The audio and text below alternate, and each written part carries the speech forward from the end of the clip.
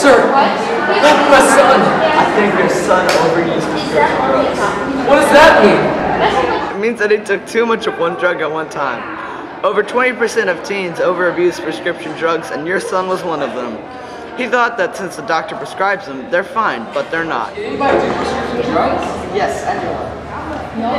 Don't do prescription drugs.